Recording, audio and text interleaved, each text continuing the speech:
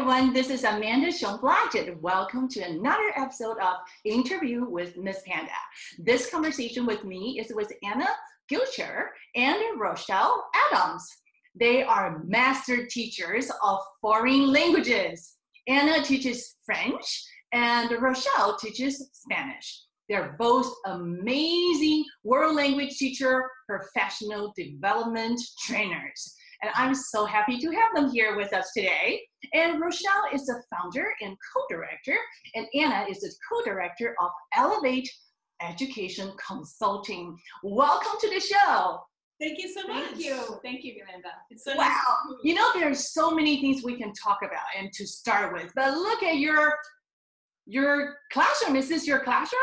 Yeah, this is my classroom. Welcome to the Spanish classroom. Wow, I see. How do you call that? All the posters and all the words? Um, I call it providing my students what they need to communicate, but mm-hmm. in a simple word, like it's a word wall, right? I give them the words that they need to help engage in communication in the classroom. That's right. And okay, Anna is the uh, Anna is the French teacher, the trainer, and also you speak German and also um, Spanish. Spanish. So Rachelle teaches Spanish. Mm-hmm. So we would like to um, to know a little bit story behind your love for languages. Yeah. Okay, you want to go first? Okay.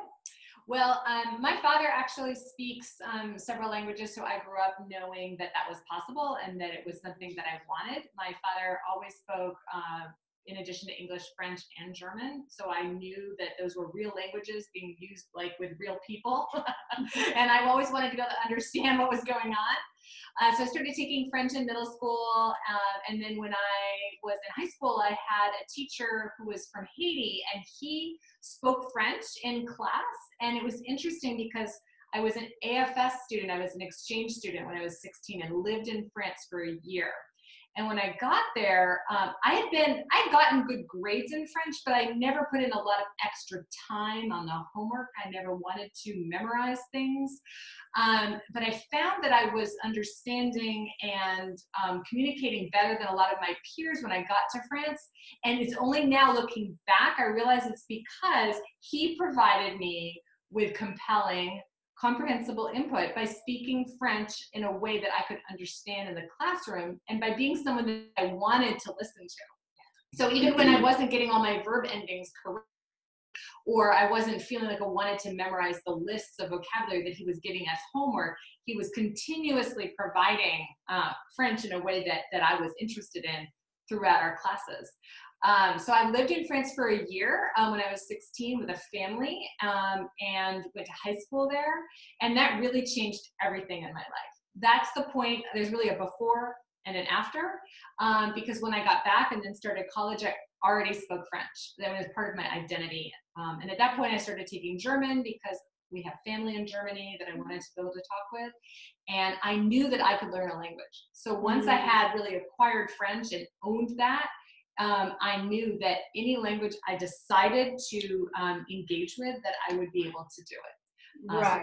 So in Germany for a semester later, and then by the time I was in graduate school, I thought it was embarrassing that someone who knew that she could learn languages had not learned Spanish. So I uh, started taking classes with my graduate student colleagues um, in the Department of Romance Studies at Duke and uh, acquired uh, Spanish through the classes combined with watching a lot of telenovelas on Univision. Nice. That's a good story. So actually, you actually grew up with different languages. Is that correct? I could hear them around me. I didn't. I didn't grow up like acquiring them myself, but they were they were around me. And I so kind of like a passive in the family, basic at your home, because you mentioned your father actually would speak um, different language at home. Not, yeah, but not to me, right? So it was that we were an English speaking household, but he was always on the phone or we would travel and he would be using these other languages and he was able to interact with all sorts of people and I wanted that. That is really, really interesting. Okay, so how about Rachelle? Can you share your story with us? yeah, mine is a very different story. So I'm the only person in my family that speaks another language, and again was somebody who started learning in school and did not fare very well in the traditional language system in terms of grades, but it was something that I fell in love with. And I grew up in a part of New York where I did have access to other Spanish speakers in their homes with their relatives.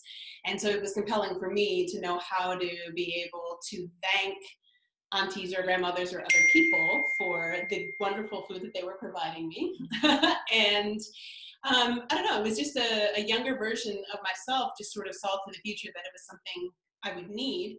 It wasn't until I got to the AP level where I was able to get language in full, whole context in literature and poetry. Poetry is what pulled me deep, deep in and I just kept at it, and, um, no matter how much it killed my GPA, I didn't care. and uh, then continued on and studied uh, all through undergrad, uh, and was able to then. I mean, it's where I live. Uh, Spanish is a daily practice for me.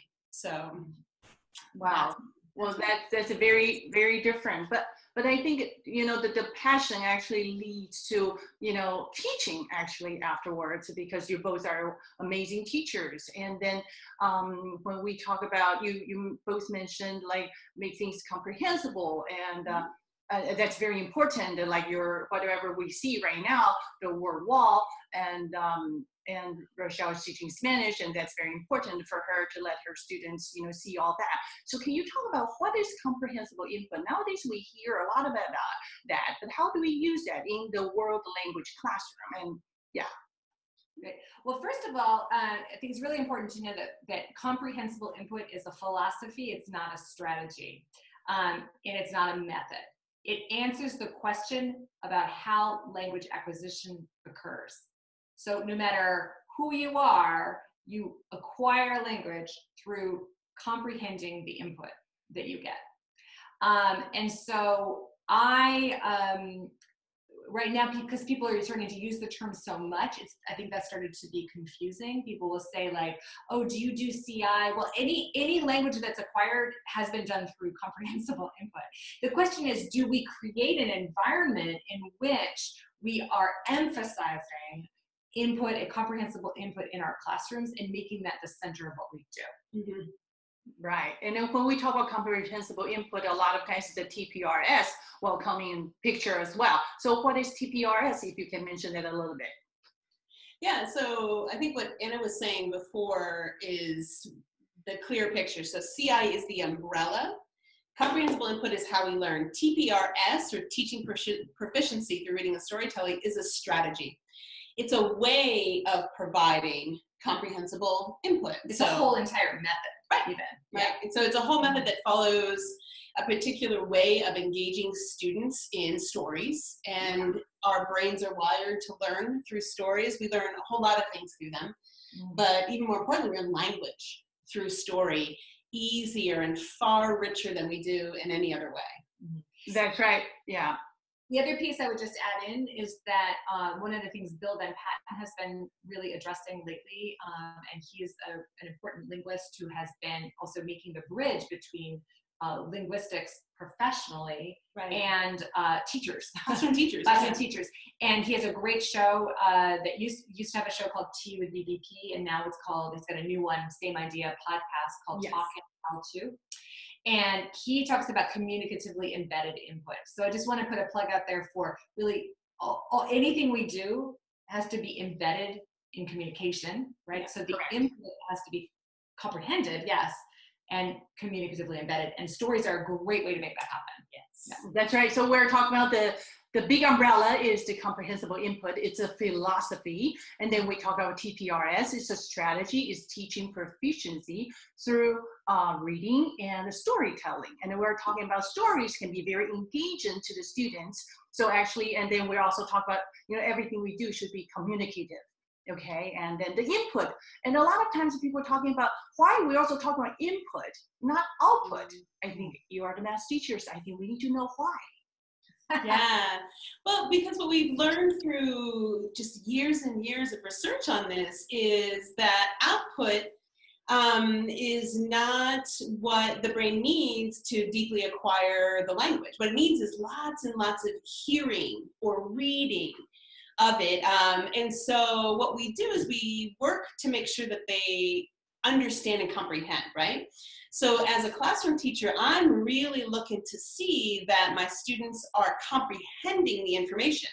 And that's what I assess, but then I just celebrate production from time to time when it happens. And just like when we learn our mother tongue, our first language, we understand way more than we're able to produce at the outset. And by forcing production too early, it doesn't really do anything to help the brain and the body acquire the language. Um, when it starts to just come naturally because they've heard it in context and in communication so frequently, then that's when we're like, all right, look at you. It's the natural byproduct of the language that has been yeah. uh, that is being mentally represented in the head. The only way to get mental representation is through uh, communicatively embedded input. There is no other way. Yeah, well, I think that's one thing I also talk about because I also teach young children. You both also teach young children. A lot of times I told parents, I said, well, you know, you wait about a year for your baby to speak the first word. So you definitely can wait to let your kids to you know listen and do a lot of things in the second language and when they are ready when they hear a lot the repetition yeah. and they will produce i think that's probably very similar in the first language acquisition and the second language acquisition a lot of the input yeah, exactly. One of our great colleagues, Jason Fritze, who's an elementary uh, teacher of Spanish, he says this. He says, you know, we are language parents. We are not language teachers. So if we take on this role of treating our students the way we do our little people, like our babies or our nieces and nephews or our friends' kids, and we take on this role of being language parents, then we get into this celebration mode. Mm. And we make sure that they're understanding and that they're going at the pace that's right for their their brain and how language acquisition works. So that's wonderful. That I think is so well said. Language teacher, they're actually language parents. Yeah, I think if you think that way, it's a lot of fun actually to anticipate the first word from your students. Is that wonderful? That is celebration. Yeah. So my next question for you is that what is the biggest difference between the traditional word language classroom and a comprehensible input classroom? Okay, so for me personally, I think that the, the biggest difference is that in a classroom that is focused on providing comprehensible input through communication, there is so much more fun happening. So that's thing one. Um, what the really the big big difference is in a traditional or in a what we're calling legacy classroom of language teaching, we spend a lot of time talking about the language explaining grammar rules, verb endings, um, you know, those types of things. But we don't spend a lot of time really talking in the language with our students. Um, and another piece of it is that the, the paradigm that the legacy classroom is working from is the idea that we need to present something and we need to practice it. And by practicing it we will then get it. Right. And that's um, the comprehensible input classroom which reflects what we know about how the brain actually acquires language flips that the other way right? Is by understanding that we'll acquire is by acquiring that we'll have what we need to say what we need right it is not through presenting it and practicing it that we get there yep Right. And then so we're talking about like if you hear something repeatedly again and again, then you all have it. Instead of drilling the students, say, well, let's follow the sentence pattern, say it a hundred times or write it 50 times. Mm-hmm. So that will be, we're talking about the legacy teaching method a lot of times because that's how they do that. And then I, we're talking about in a very different direction. Exactly. And, when, and one of the things that we have to make sure we're remembering is it's hearing things in a communicatively embedded context, right? So if I just say to you over and over and over and over and over something, that if you're if it's not communication it doesn't get acquired the language acquisition device does not take it in right so we could say oh but in the way that i used to teach back in the day i used to make sure my students heard that pattern over and over right but that's really still with the intention of getting them to master it the intention needs to be communication not the intention being let's make sure you master the structure it really matters and it's very different effect on the brain Yeah. it's kind of cool, like the neuroimaging that happens, what parts. yeah, I'm a big yes. neuroscience fan. And so the parts of the brain that light up when we're repeating things over and over as a sentence or a phrase, is shallow, and when we're talking in real communication, it's deep. Like other regions of the brain are lighting up and active. So You're talking about this summertime, you have ice cream with the kids, and then suddenly you always talk about ice cream, different flavors repeatedly, and suddenly they come to you and say, ice cream. Yeah. They try to communicate with you. So it, it is it has meaning actually. It's not just a word, but it has meaning. It, it has a fun element. It has different flavors. It has different things. So basically from one thing you can branch out to so many different things. So we see the legacy uh, classroom and then the comprehensible input classroom. Actually, they can be so different, but in a very more fun and also communicative way. But does that mean that teachers have to do a lot of preparation? And how, how does that work? Here's the secret, okay? secret, let's all lean in. Secret, you do far less preparation in a CI communication based classroom than we ever did trying to come up with worksheets or printables or grading. Because what you end up doing is you follow the flow of the communication naturally and you're just engaging with the interests of the students. Now, I always have a little something something in my back pocket in case they're like, uh, and I'm like, oh no, I thought this conversation was going to be amazing. And they're like, no, it's so amazing. So maybe I have already um, planned to have a song on deck.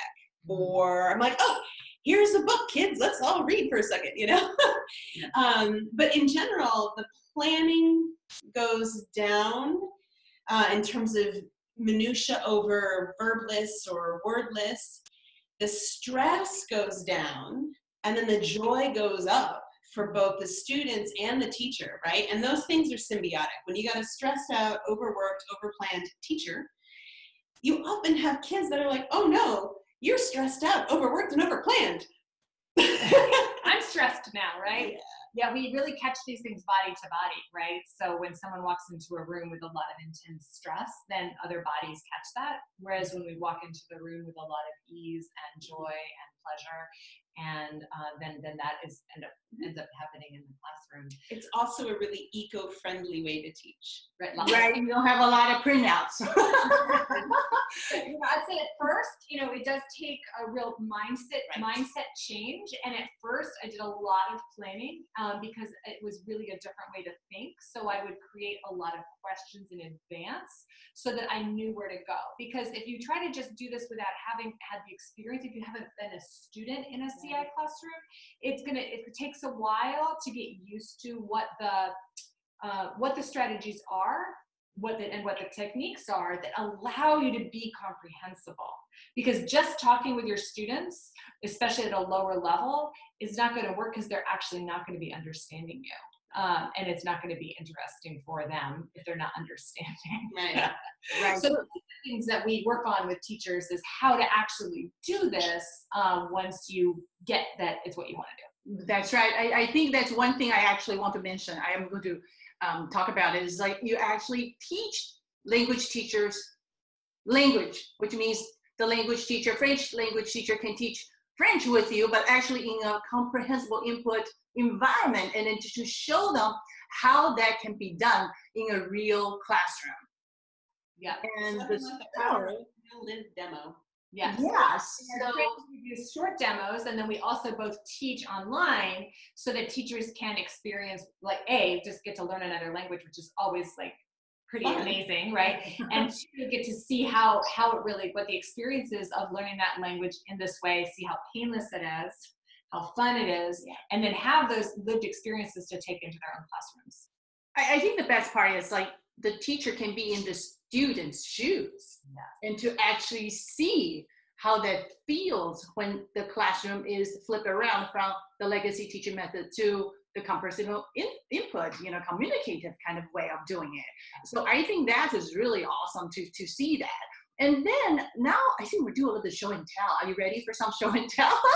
Maybe can you show us some of the tools you actually use in class so the teachers, educators, even parents can learn from you? Okay, well, since we're in the Spanish classroom, I'll do a little show and tell about Spanish. So behind me is part of the classroom. It's one word wall of many. And what I've done in this particular area is I've given people everything that they need to be able to talk about when something is happening. Right? We can talk about maybe when in the year it's happening, when in the week, what time. And then also related to that is just like how many, right? So, how many people went to the event, or how many different concerts have you gone to this year or in your life, whatever it is. So I try to make sure that it's um, grouped in a way that makes sense in terms of communication, right? So I could have a bunch of question words all on one part of the wall, which works just fine for the brain. Um, for me, I was lucky. I had them separated out, so I chunked them. Uh, and the reason why I have a prepared space is because it allows me to just point, pause, it slows me down, and then it gives the brain a chance to rest. They can see that it's, you know, Saturday in English, but all I'm saying to them is sábado. So we remain in the target language the whole time in terms of what they're hearing. They can see it written, which enforces the spelling and reading comprehension, right? And they can then later have a movie in their head playing when they're reading and they understand what it means. Um, so I'll give you a quick 360 tour. So this is the when wall, and then we'll tour over here. That's the where wall with the maps. And then goes into what and which and who. And the language that I'm giving them are expressions that they can use to again just talk about what's happening throughout their day. So that's my my basic stuff. I've worked in all kinds of different contexts. So I've done this um, same thing in versions that were mobile. Like I had my little pack of things and I went, and um, I still do this in some respects. The other thing that I always have in my classroom um, are books to read. So these are leveled readers, and then also kids books, right? Um, and I'm really intentional about what are the kinds of books that I'm picking up because I want to make sure that they will lead to um, interesting discussions where I get to know more about my students, right? Some of them are just fun, right? When we learn and read about Elephant and Piggie, that's just fun. Uh, yeah. And it's simple and it's great, and everybody loves to watch Elephant and Piggie have a discussion, right? And then I flip over to books that are maybe a little more out of reach for the younger levels, but I select and choose. And I do a lot of picture talk around what's in there.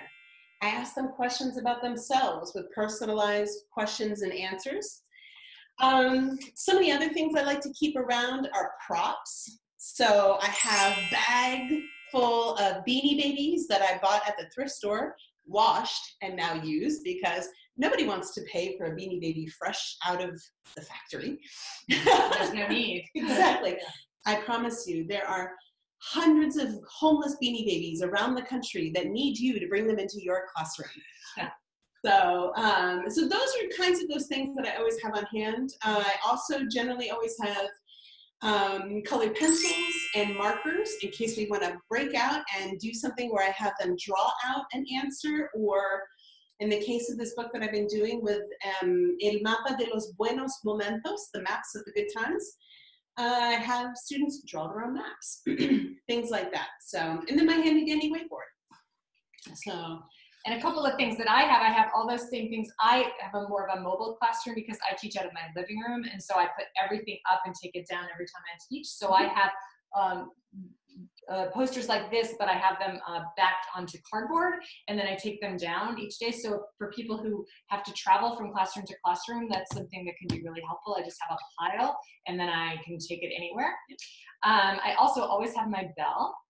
And so one of the things you started with, Amanda, was like that we should all breathe. So that, as you know, is one of the main first things I teach people in French when I start teaching is on respire, we breathe. And then I use my bell from time to time, not all the time. We breathe a lot more than I ring the bell, but it's another wonderful way to bring us back to the present moment. Um, another thing I just have in my bag always is um, just this little story cube uh, game. So they're all little pictures, um, and uh, we could take just one and start a story with it, just roll it, or I can pass them out and different people roll them, and we do it one sentence. Like there's lots of ways to use them. I just used them yesterday in a class where I noticed that we that there, we needed a little something to center on for a while. And I don't do stories every day anymore, but I like, but the power of story is really um, incredible. And so uh, from time to time, this is a way that I'll start a story um, and then we write it down or retell it and then I'm going to type it up later. So those are some different things that we like to have around. And I always have lots of books. We Yes. start with free reading at the beginning of every one of my classes for 10 minutes. Same here. Um, so I have a lot of books. To, I put a lot of money and time into choosing books so that I have a large collection of different books for people to choose from. And I have found that that has made one of the biggest differences in my teaching is to have that 10 minutes of reading where I read in French also. I read the book I'm reading, and then they read in French, um, and they can either continue with the book they started last week or do something different. Mhm. Um, and that's been really fun. Yeah. And music. Music, they go yes. Absolutely. Well, thank you for the tour of the Spanish classroom. And one question I have for the word wall is that I see Spanish and I also see English, and we talk about that. And then I think a lot of parents and teachers they sometimes say, well, we need to give them a lot of target language. Okay, for example, Spanish classroom, so only Spanish. Why we have English on the poster? That's a great question. Um, so it's there in order to alleviate confusion, right? That's the only thing it's there for.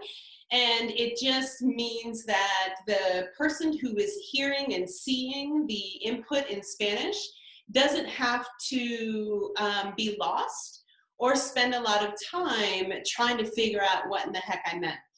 Some things I keep both English and Spanish up just to have it because I have mixed levels of students in the classroom.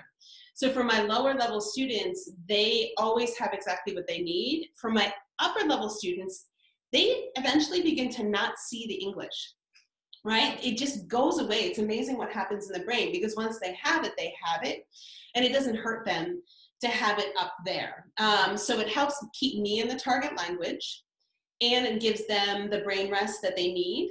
And not absolutely everything has both, but uh, a good chunk of it does. So that when they're looking and reaching for something that they want to communicate, they have it right there.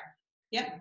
And I also think actually it actually reduced the stress for lower level students, beginner students, not beast level students, because they're just beginning and Yeah. sometimes they need a little bit help with the native language. So I think with both language, they're actually will reduce the stress. Is that a part of the benefit? Yeah, and we do know that if um, if we don't provide it for them, they're busy creating that in their head anyway. Yeah. So we might we might imagine that by not having any English in the room, we are creating this perfect environment of French or Spanish or Chinese. But in their heads, they're busy going, does that mean orange? Does that mean purple? Does that mean wall? Does that mean? So they're busy doing that. And we've all had the experience where we've been irritated with our students because they're like yelling out things that they think it means. And we're like, no. And then we're trying to act it out. And we're like, no, you know. And then we spend, you know, five minutes trying to act something out that we could have just clarified by making it clear right from the very beginning. So we need to not think that the brain doesn't make that uh, translation in the head because it will do it anyway. So we might as well give it to them, and then they could stay with us in the target language. And as Rachelle was saying, she's able to stay in Spanish because she can point to that. That keeps her in Spanish. Well, that actually applies to my Chinese class as well because I have the word wall, and then students, they can just, if they don't understand, they can refer to the wall, but I can keep focusing on the Chinese, Mandarin Chinese. So actually, they got more target language input. I think that's definitely very important. So we see you have word wall, you have readers, you have kids' books, and then you found the books and stories you lead to discussion and you learn more about your students and then we talk about picture talk because sometimes students they won't be able to you know read a book all by themselves and then so we just how about choose one picture at a time and talk about it and that actually make the discussion and learning a lot of fun and you have props like beanie babies, and um, definitely I have a two boxes of all kinds of stuffed animals. Yeah. So see, we are all very we have to, you know, like a child heart. We are fun, and we want to make sure the language class is fun. That's how students learn, no matter how old they are, as a matter of fact and we talk about color pencils, markers, and uh, story cubes. I think that was that is fantastic. This is definitely a great tool. It makes kids feel very excited to roll the dice to see what they're going to talk about, and they also have it.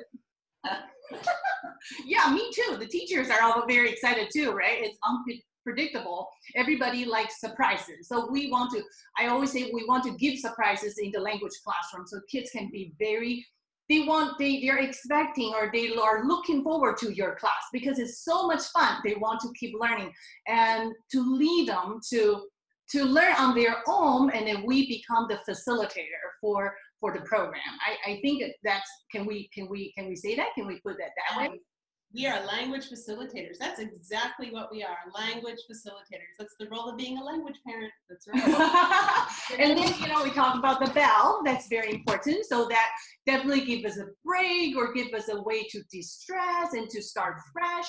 So I, I love the, the tools you, you have, you have presented to us. And I think that's fantastic.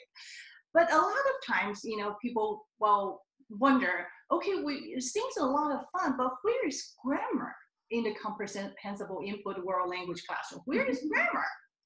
Everywhere. That's a great question. Yeah, so grammar, um, grammar that's actually in our heads that we use to speak a language with, like we're doing right now, is acquired. It's not learned explicitly. So I could spend a whole lot of time teaching Rachelle um, how to conjugate a verb or how to, you know, when to use que and when to use qu'est-ce and when to use qui and when to use est That was actually a lesson in my textbook long ago. And she, even if she were able to do the exercises, she would not have access to any of that information when she's speaking French. Right. It's a different process. So um, grammar is acquired through communicatively embedded input. That's how it works. Now, there can be a role once language is acquired and we have mental representation in our heads, then we can use explicit teaching to uh, look at spelling, to mm-hmm. look at patterns, um, but that is really not the same thing, right? That is that is how you write. Mm-hmm. That is, you know, and we know that with native speakers, um, elementary school, a lot of the role of elementary school is helping with writing right? So reading, but then writing. And how do you uh, also have a professional level of your native language, right? Mm-hmm. There's your home dialect or the way that you speak at home or with your friends, and then there's how you speak at a different register. So all of those things, um, we can then look a little bit more at like grammar in the way that we think of grammar at that time. But easy does it. Little bits of doses, not large doses. Yes yeah. class with you where I would notice something and I go, wait, wait, what about that? Yeah. And then she'd take a second and go, oh, blah, blah, blah. So it's like pop up. It pops up because I'm now curious about it. The question is coming from the learner, not coming from the teacher wanting to give yeah. it to you. And that is that's key. It's so cool to see students be like, whoa, hold on. I'm noticing something here. And then they lean into it. And when you lean in, then it's clarifying something right. as opposed to you're dumping a bunch of information on students. So, right. I, I think that's really cool when you talk about pop, pop up grammar. Okay, mm-hmm. kind of like because students they notice something, they become the detective in the language classroom, and they detect something they don't know, and they say, "Wait, what is that?" I think that is really fun because the curiosity actually will help the students to learn and actually eager to learn more of the target language.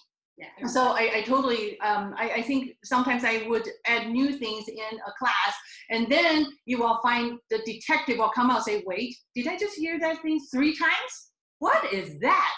And I think you know in order to you know make things more interesting i think this is definitely a great way to to add the grammar element in the lessons but not focus on the grammar itself but use the language embedded you know stories and to to kind of lead to the curiosity and then talk about Absolutely. Exactly. Spot on. The last thing I would say about that is um, language, um, grammatical elements of language are acquired uh, in, in, a, in, a, in a specific order that you cannot change. So um, we need to also trust the process that it's only through um, communicatively embedded input that the brain is going to acquire the elements it needs. So I could try to teach Rachelle the subjunctive in French now, but that's going to happen. That's going to be acquired when it's acquired. It doesn't get acquired early. It's fine for me to point it out or for her to hear it. It'll be there, right?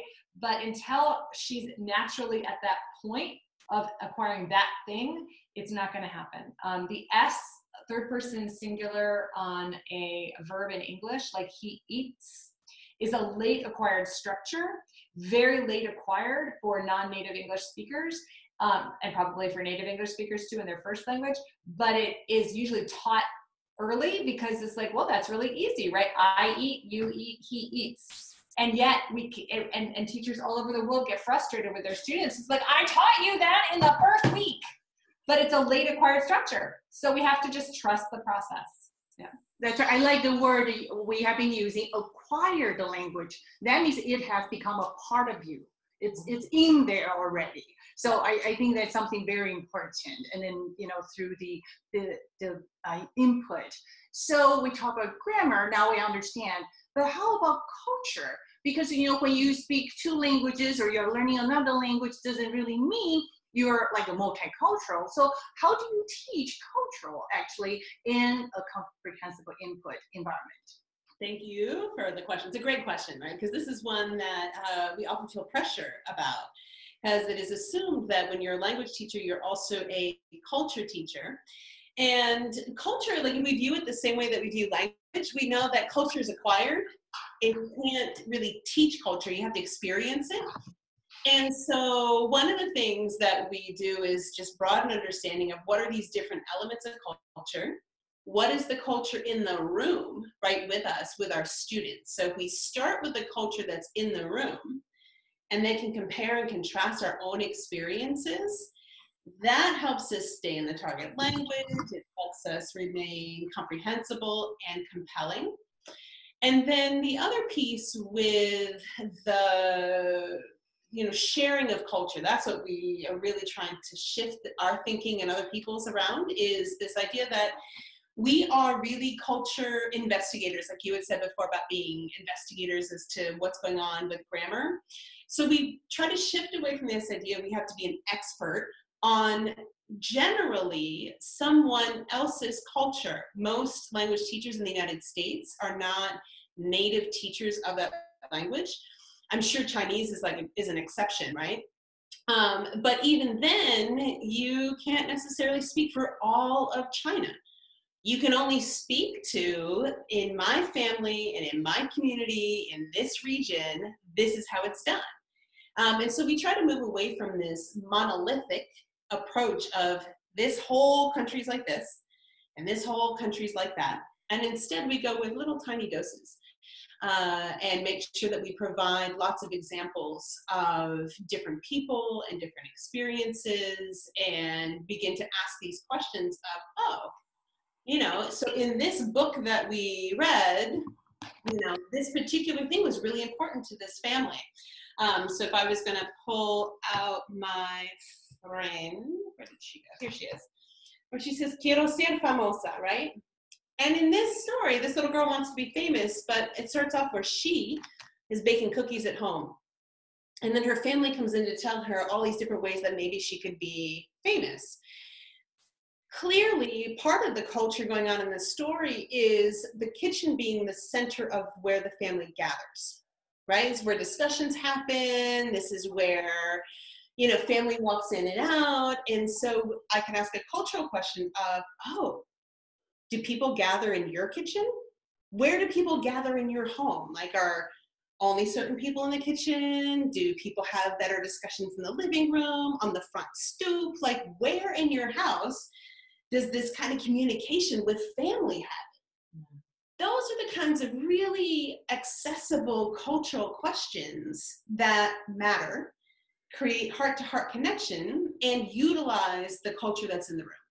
Right, and I think that is something actually, Rachelle, you have you have mentioned. I think it's like a culturally responsive teaching. So like you know, start from somewhere very small, your own environment, and I think the culture comparison. I think you're not only learning about the culture in the classroom, but also with the people, all the students in your class, and learn to compare to see the similarities and and the differences, and to respect each other. I think that is something pretty powerful actually because you know a lot of times uh, for example, um, I watched Coco, a part of Coco with um, my students, even though it's uh, in a different Latino culture background. But actually, then my students realized like some of their families actually celebrate Thursdays similar the you know to their ancestors, and that is how the shared culture coming in, and you're become the world citizen of learning not only the world language but the world culture, but in small chunks, like you said, and expand from there. Is that a part of the, the teaching? Yeah, absolutely. And when we get into the specifics, then we avoid stereotypes and these broad generalizations, right? When we're talking about individual or small community experiences, um, we really get to the heart of things. And then we avoid um, making just these overgeneralizations about how things are or should be uh, for certain groups of people.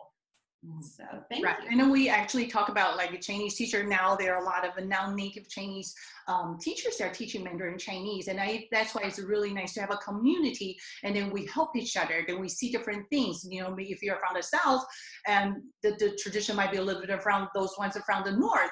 You know, um, so it's it's different. So it becomes a community helping each other.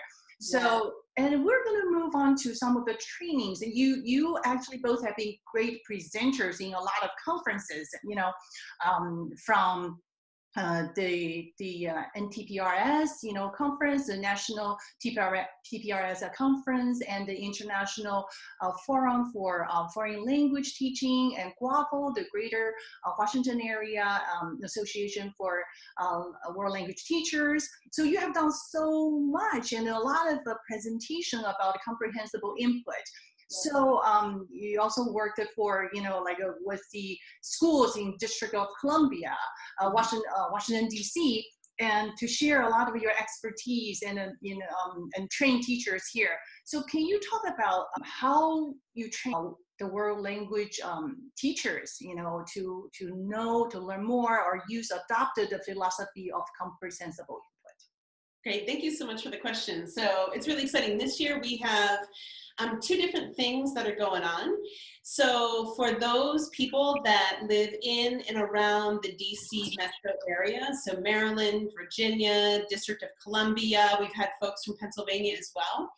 We have a uh, monthly training series that starts in November and it runs six months out of the school year where we gather together as a cohort group of professional learners for three hours once a month on a Saturday. And in those three hours together, we make sure that you have uh, received demonstrations in target languages so you experience what it's like to be a CI student, as well as the research and the theory behind it. We have been working really diligently on being up to date, current, and basically being your research translators of here's what we think are really the distilled most important points and then how does that apply? What does it look like in the classroom? So with that series we have two levels. We have a level one for people that are starting out and they are trying to just get their footing around what is comprehensible input why does it matter and then how do i apply it and use it in my classroom and then the level two are for folks that either have had some training before and feel like they're just ready. They want to jump right in. Um, and or they come through level one and now they're ready for level two. Level two again, we continue to reinforce the learning about CI techniques and CI strategies, as well as the brain research around what we need to acquire language. But then we also are putting a heavy emphasis in level two on what does it mean to be a culturally responsive world language teacher. Mm-hmm. So understanding in greater depth and detail, how can you, now that you've built up some skill in, you know, teaching communicatively, by providing comprehensible input, how can you also then maximize the learning environment for your students to be successful by being culturally responsive to who's in your room and what they need to be ready for success? The other piece of what we have to offer, um, and this works for anybody um, anywhere in the world, Yeah. is we have an online membership. Um, these two things are complementary; they don't replace each other. So Right. one could be participating both in the um, in-person training and be a member. We've had we have people who are doing that, um, but it's a, a, a membership that is twenty dollars a month right now. Um, and although the um, right now we're not accepting the brand new members, but you can get on the wait list for when we open up in January. Um, so what we're finding is that we're, um, people are, are, are able to take the, the bits that they're getting each week in, in small increments for something very practical that they can take into their classroom, use, try out, and then get the next little bit of learning the following week. So what we're doing is we know that teachers are very, very busy and very overwhelmed all the time. Um, and they may have been to a to a training, they may have had some uh, some you know exciting experience, but now how do you implement what you've learned? So our membership is to help people implement the learning and keep them, give them solid support, uh, solid sustained support all year long. Uh, it includes once a month a, a live Q and A with us, where you can ask any questions. Um, so it is uh, that's the other piece of what we're offering right now, along with you know coming to conferences and doing presentations. So it's like a community of itself actually and helping Yes, each other, right? It's a community. And I think I love the training because, you know, I think, you know, even teachers that they, who don't have any comprehensible input experience uh, before, prior, and they can join your training program and learn how to start from zero and take off from there. I think that is absolutely fabulous. And then you have, after the first level, you can move on to level two and tend to advance your practice in comprehensible input. And after that, you have a community that will be able to answer your questions and to, um, um, you know, ask questions. And then, you know, among teachers, a lot of that, actually generate a lot of uh, um, a lot of not just questions, but I feel can be more productive because you will have ideas from each other as well. So that is all. That it sounds like a very really fun and you know amazing uh, training. So where can teachers find you online to say hello, bonjour, um, buenos dias? Yeah, um, and then also students, you know, who want to learn French or Spanish from you. Where do they find you? Well, the easiest place would be to go to our website, which is elevateeducationconsulting.com. All one big chunk. Um, elevateeducationconsulting.com. And when you head on there, you can either drop us a line through the contact page or you can. She's showing you. There you go. So on there, there are basically like four banners. So you've got Elevate CI, and that's where you'll find information about educator training. You have Elevate Language, that's where you can find out about language classes. We also provide French and Spanish classes for French and Spanish teachers that helps them to keep in the language, increase their own input, and everything that they get in class from us, they can use in their own classrooms. Yeah, advanced classes. So it really is like professional development because you are experiencing a CI classroom, you're discussing, and I found that in my Spanish Spanish teachers class, sometimes I'm like, all right, teacher talk, hold on. Da, da, da, da. And we just spend a couple minutes around how would you use this in your classroom. Absolutely. Um, and then you've got Elevate Culture, and that's uh, got a lot of really great resources as well as information on past workshops that we've done. Um, the membership information is underneath Elevate CI. So elevateeducationconsulting.com is where you can drop us a line, say hello, and register. Okay, so we I'll have that in the feature post. And uh, anything else, um, Anna and Rachelle, you want to suggest or mention before we wrap up?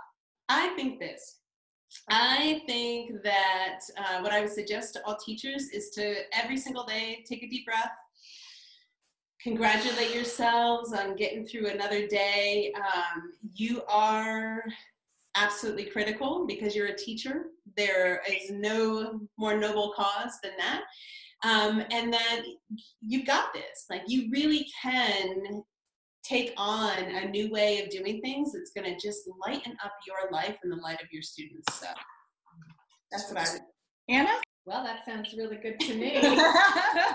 we love teachers. Like we love kids and we love teachers. And one of the reasons we left the classroom ourselves in terms of being in a school was to be able to have a greater impact on more kids by being able to support teachers. Yeah.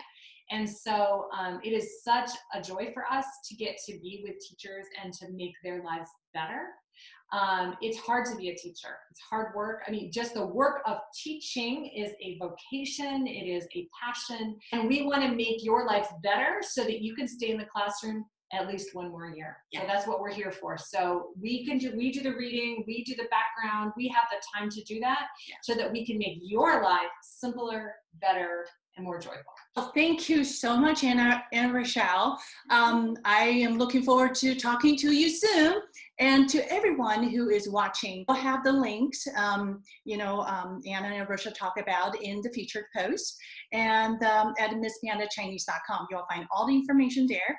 And thank you for watching this episode of Interview with Miss Panda. And I'll see you next time. Goodbye. Bye. Take care.